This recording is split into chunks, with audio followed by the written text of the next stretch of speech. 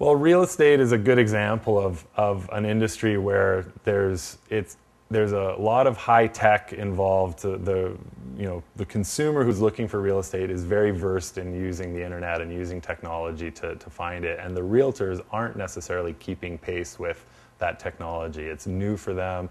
A lot of them don't have websites yet. If they do have websites, they have very static websites. And so I think any other industry like that, where the the consumer is using technology and is using the on the online world as a as a way to find things and and a, a business that hasn't really embraced the online world is is where XLsuite fits very nicely.